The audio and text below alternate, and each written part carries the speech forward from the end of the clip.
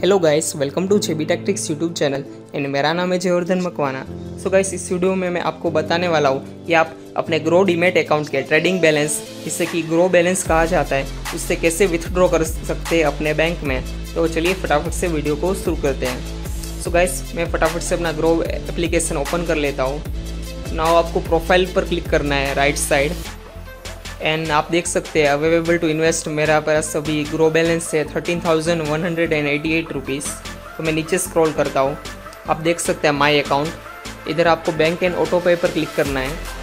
ना अगर आपको अपना बैंक अकाउंट इधर नहीं दिख रहा है तो इधर से आप नीचे से ऐड अनदर बैंक क्लिक करके ऐड कर सकते हैं अपना बैंक अकाउंट जो भी आपका प्राइमरी बैंक अकाउंट होगा, वहाँ से एसआईपी की पेमेंट होगी, बाकी सब तो आप अपना प्राइमरी बैंक सिलेक्ट कर लीजिए, जिसमें जिससे आप ट्रांजेक्शन करना चाहते हैं सारे। नाव मैं अभी ऊपर जाता हूँ वापस। तो मैं इधर अपने ग्रो बैलेंस पर क्लिक करूँगा। सो so गाइस आप अपने बैलेंस की व्यू डिटेल्स करके डिटेल्स देख सकते हैं। तो आप देख सकते हैं रिसीव्ड फ्रॉम स्टॉक्स जो कि मैंने 23 जुलाई को सेल किए थे। तो आज ये ट्वेंटी सेवन्थ जुलाई तो इधर से आप देख सकते हैं अपना स्टेटमेंट क्रेडिट कैसे हुआ ब्रोकरेज चार्जेस वो सब।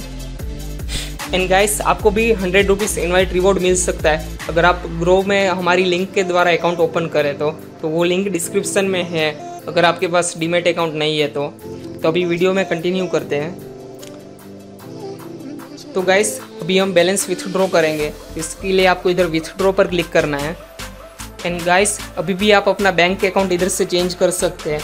मैं यूनियन बैंक में करूँगा, लेकिन अगर आपके पास कोई और बैंक अकाउंट है, जिसमें आप फंड्स ट्रांसफ़र करना चाहते हैं तो वो भी कर सकते हैं इधर से। ना मैं अमाउंट टू विथड्रॉ क्लिक करूँगा, और मैं पूरा ही विथड्रॉ कर लूँगा। Thirteen one eight eight okay withdrawable तो मैं भी ये भी आपको बताता हूँ।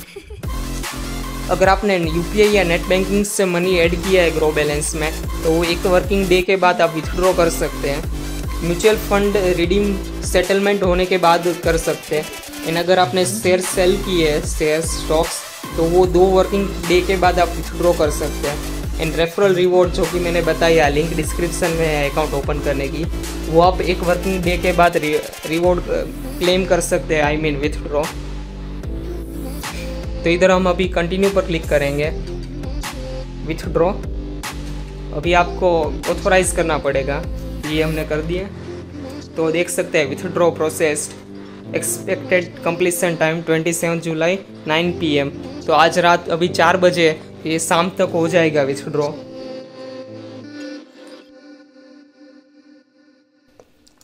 तो आई होप कि आपको वीडियो पसंद आया होगा। अगर वीडियो पसंद आया हो तो लाइक करना।